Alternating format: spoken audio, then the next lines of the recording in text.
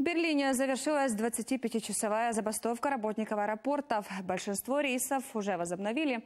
Акцию протеста организовал наземный персонал аэропорта Тегель и Шönефельд. Работники требовали повышения зарплат с 11 до 12 евро в час. Из-за забастовки отменили около 700 рейсов.